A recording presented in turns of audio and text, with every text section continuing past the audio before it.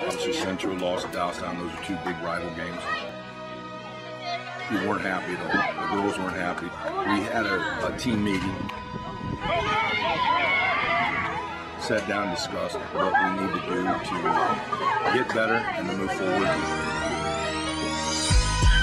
And one of the things we talked about is uh, working together, being, being a team, helping each other, uh, not arguing amongst each other. That's what we did. We worked. We, we talked it out. We had a, an hour session of uh, get your get your thoughts and feelings out. And here we are, two and oh. zero.